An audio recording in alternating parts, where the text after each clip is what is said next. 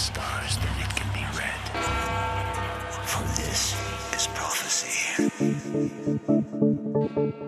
The future, a thousand million possibilities.